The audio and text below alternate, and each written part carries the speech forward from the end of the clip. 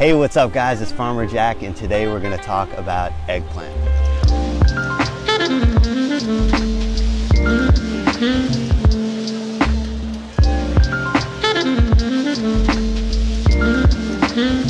So eggplants do great in South Florida.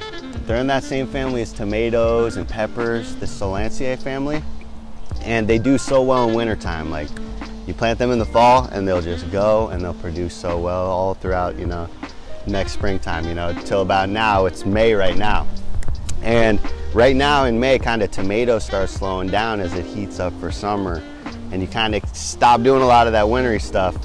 Um, whereas eggplants, they keep going. They will go May, June, July, it doesn't matter. Um, you can kind of do them year round here, which is awesome. So you can plant them really whenever.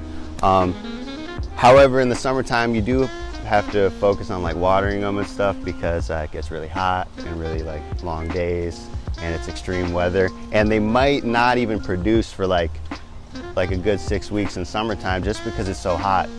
Um, they don't want to produce. So um, but it's okay. They're just gonna start flowering again in the fall and you know and keep going. Sometimes these will go for multiple seasons in the garden you know? They'll be there for three years.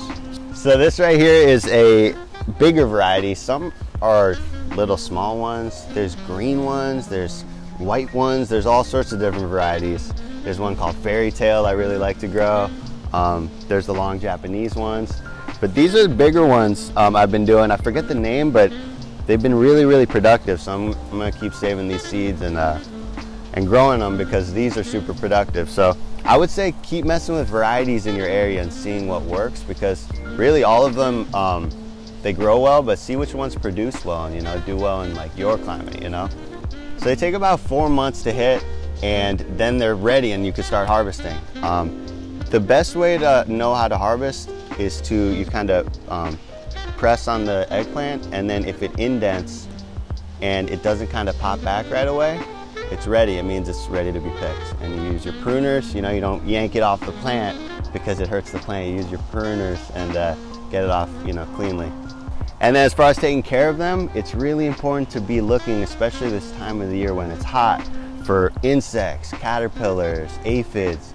They are definitely attracted to this plant, but ladybugs are also attracted to this plant and they eat the bad guys too. So let them go to work too, but definitely keep the observation going and just kind of be a part of the process because um, these definitely get hit by insects um, unless you are out there, you know, kind of being a part of it. Um, and I will say pruning the leaves and getting rid of kind of these yellowy leaves, coming out here with scissors and just kind of getting rid of these every few weeks um, makes a huge difference and it kind of keeps it healthy and from getting kind of, um, you know, fungus and all these issues when there's not airflow in the plant. As you can tell, we've, we've been pruning these up for the last, you know, six, seven, eight months and uh, super healthy, super productive. So uh, eggplants are definitely a winner in the garden. Check them out. I'll see you next time.